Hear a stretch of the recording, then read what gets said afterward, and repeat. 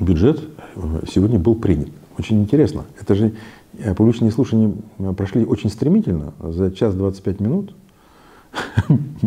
Но еще интереснее вообще весь бюджетный процесс. Он уложился в районе меньше, чем за 14 дней. Потому что 16 числа были внесены, ну или там 15, ну там выходные, а вот, был внесен бюджет, а первые уже его приняли. Причем приняли не только этот бюджет, но еще изменения в бюджет прошлого года и еще шесть изменений э, в э, бюджеты советов.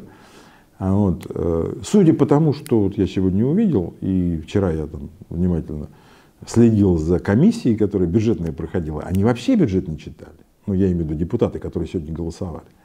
А те, которые читали, ничего в нем не поняли. И поэтому сегодня был принят бюджет, который надо было как минимум еще на две недели откладывать. А, а главное же на самом деле содержание этого документа. Вот интересно, Павел Николаевич, как вы его оцениваете? Вы уже опытный парламентарий. Ну да, я когда-то работал э, два созыва заместителем председателя комитета по бюджету и один созыв заместителем председателя комитета по экономической политике Московской областной думы. И в бюджете я, в общем-то, разбираюсь. Хотя там разные граждане, которые там имеют э, образование режиссеров, начинают говорить, что Грудинин не читал бюджет. Нет, я прям цитировал этот бюджет им. Вот. И на самом деле, э, если говорить о бюджетном послании в принципе, то это не только бюджет, это еще и прогноз социально-экономического развития, это программы, которые, к сожалению, теперь принимаются не депутатами, а только исполнительной властью, то есть главой. И в этих программах очень много э, различных мероприятий, а теперь по законодательству получается так, что мероприятий может быть много, но финансировать будут только те, на которые хватает денег в бюджете. Если теперь бюджет стал первичным, а все программы вторичные. Поэтому на сегодняшний день мы только одно знаем. Приняв бюджет, основные параметры и там, расходы на программы, потом будут внесены изменения в программы, которые могут быть существенно изменены с точки зрения ну, нахождения там, детских площадок, э, строительства дорог и еще чего-то. Вот. Если брать вот этот вот бюджетный процесс и бюджетные послания, которые у нас сегодня получили, то прежде всего нужно смотреть на прогноз социально-экономического развития нашего городского округа, который был раньше районом. И вот тут, знаете, это фантастический э, документ. Почему фантастический? Потому что он противоречит сам себе. Интересно. Там э, такая интересная вещь, например, мы все знаем, что пандемия, там написано, например, что промышленные предприятия в Ленинском городском округе стали выпускать продукцию вот за 9 месяцев на 21, там, 22% меньше, чем в прошлом году. Но несмотря на это, оказывается, зарплата на промышленных предприятиях выросла.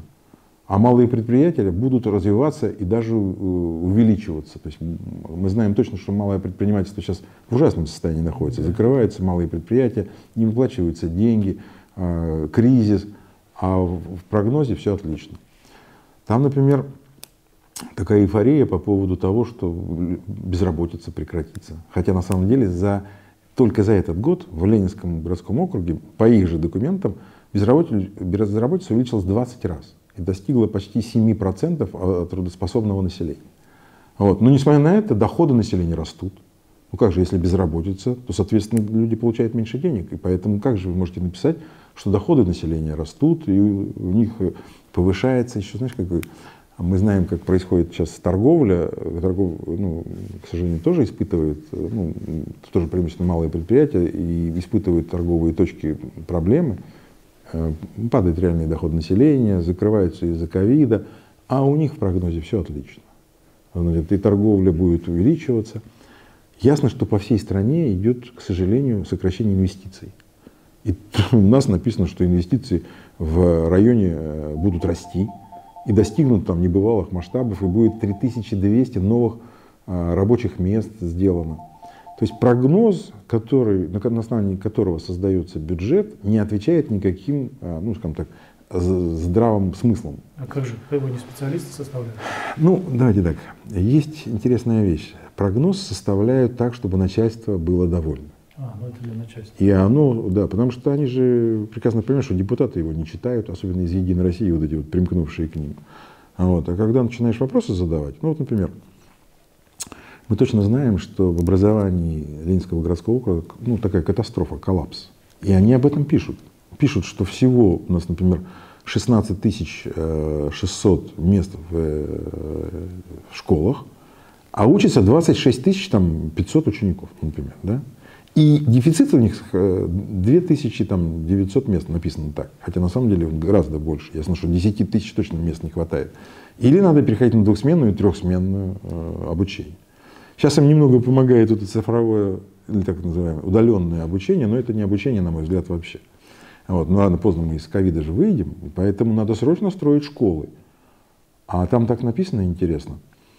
А, значит, э, судя по тому, что написано в бюджете, а он же на три года прогнозируется, в этом году будет э, проектирование там, школ, а в следующем году строительство за бюджетные деньги. То есть получается, инвесторы, которые взяли на себя обязательства, что они построят школы, или сдулись, или э, каким-то образом ушли от этих обязательств, бюджет теперь нашими с вами деньгами, потому что деньги налогоплательщиков, пытается закрыть те дыры, которые э, на самом деле появились из-за недобросовестных застройщиков. Угу. Детские сады еще хуже. Там, значит, 7 тысяч мест, ну, 7200, по-моему, 7200 э, мест в детских дошкольных учреждениях, а дефицит больше 7,5 тысяч.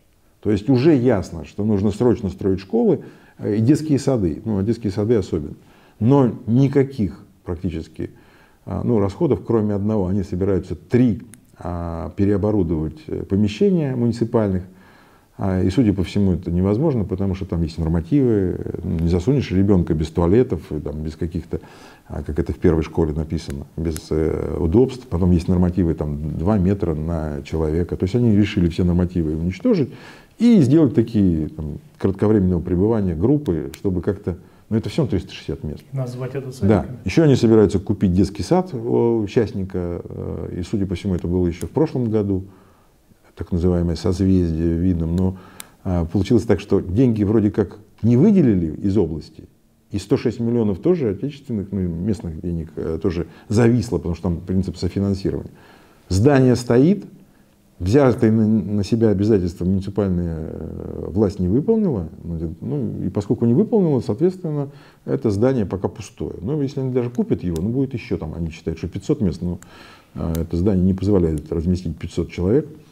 Вот. Ну, не важно. Важно другое, что на самом деле отсутствие, скажем так, внятной политики привело к тому, что строятся только многоэтажные дома, и в них в инвестировании по-моему, 8 складов и 4 магазина.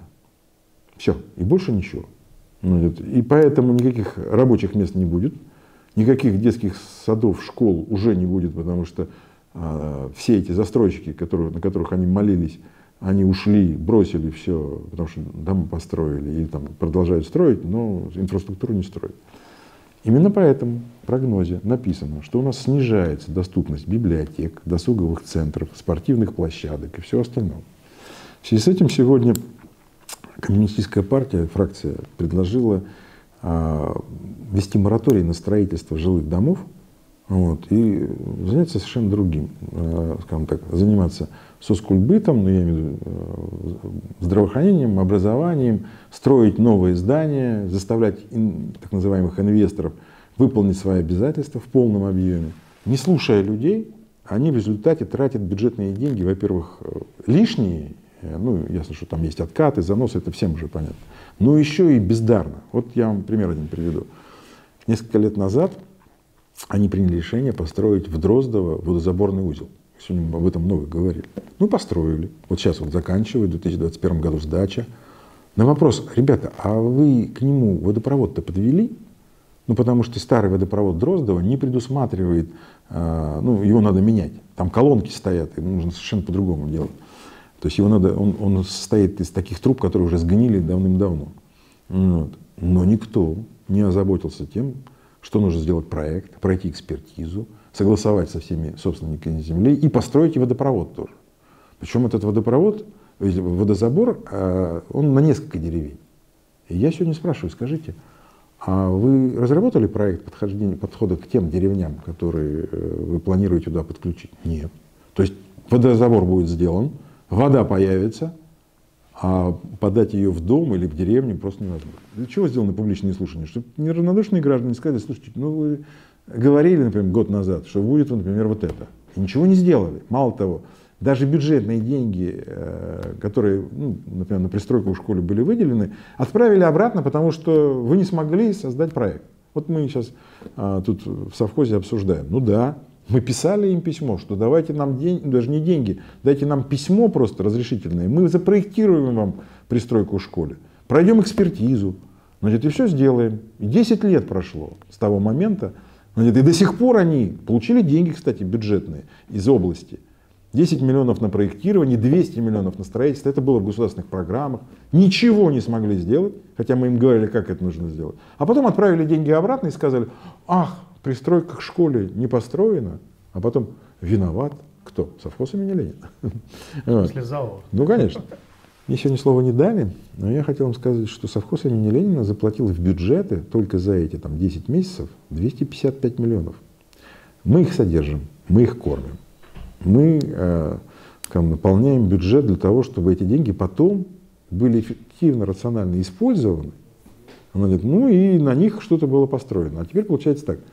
Мы их туда отправляем в бюджет, они на эти деньги повышенные зарплаты, отпуск 45 дней, еще что-то себе оформляют, в том, в том числе и платят повышенные пенсии муниципальным служащим, которых надо было посадить в свое время. И после этого говорят, а ребята, сделайте за нас еще все. А мы придем и будем командовать, где урну поставить, значит, вот э, сдайте нам эту документацию. Мы сидим и думаем, слушайте, ну сколько можно? Это вот даже хуже, чем э, помещики. Мы как крепостные. А этот чиновничья рать, которая чувствует себя начальниками. И вот они друг другом довольны. Набрали этих, ну, мы знаем, как э, год назад депутаты вот эти вот выиграли как будто бы выборы. Поснимали всех э, жителей, прислали какую-то, извините, шушеру, Сами себе нарисовали там, допустим, ясно, что было а, а, испорченных бюллетеней в три раза больше, чем... И после этого говорят, мы депутаты, мы от народа. От какого вы народа?